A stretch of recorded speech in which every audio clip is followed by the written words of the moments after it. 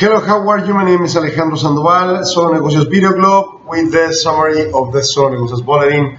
Today, June the 6th, 2018, foreign exchange and metal markets, the peso is appreciated, given that in Forex, they rose positions in pesos, given the scenario of a potential opportunity regarding Banxico's intervention in the market.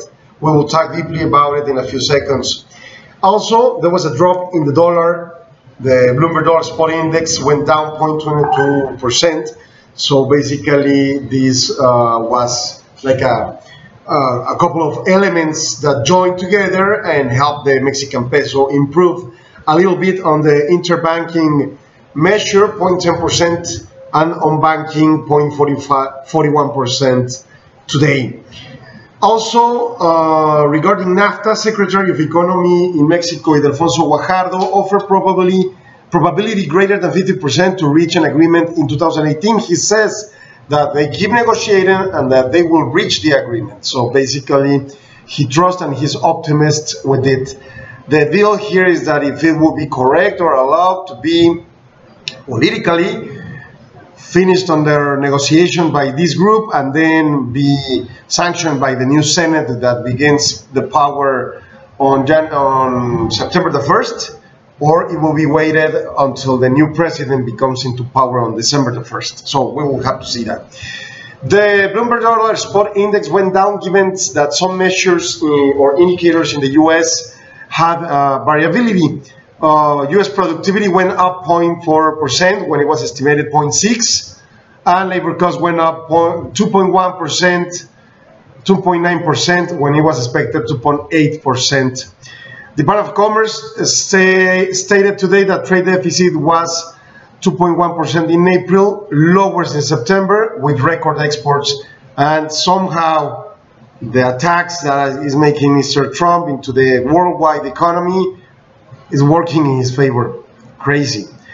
Oil went down today a little bit more than anything else. It was pressure from the report of uh, the Energy Information Agency from the US that showed that the US inventories last week went up when it was awaited for it to went down.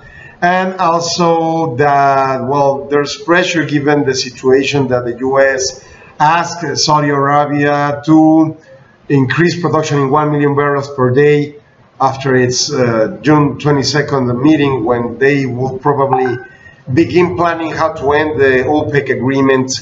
And also Venezuela is diminishing its uh, production given two reasons. One is the US sanctions it's the political situation, but also it's their terribly bad uh, management over PDVSA, the oil company, which even with the greatest reserves worldwide demonstrated, well, cannot enter into a good way to produce oil and sell it worldwide.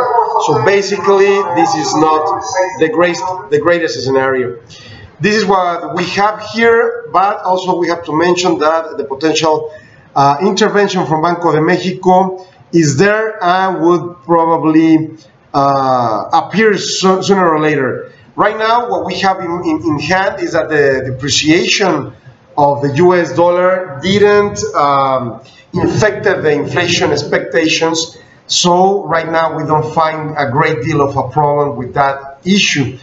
But the deal here is that if uh, on June the 11th, when the uh, inflation is showed by INEGI here in Mexico, it's uh, demonstrated that there was an increase on it then we'll have a reaction by Banco de Mexico probably before the June 13 threshold date for the Federal Reserve or even the meeting uh, on, on their agenda for Banco de Mexico. What do Banco de Mexico have under their control as tools to control the inflation?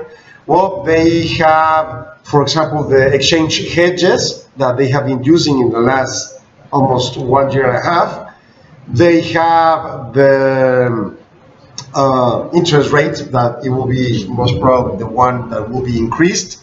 And they have the financial shield, which is basically international reserves with $173 billion and almost $100 billion with uh, flexible credit line with uh, uh, International Monetary Fund, which could be used in any moment to help Mexico. There are other tools, but those are the most important. And what we expect if is inflation increasing in this month when it has been decreasing in the, previous months, then it will be the rate first hand to be increased, then the hedges. And we will see what else happens with the scenario and the volatility that we're living right now. That's it for today. Thank you very much for your attention. We'll keep in touch. Watch, see you tomorrow.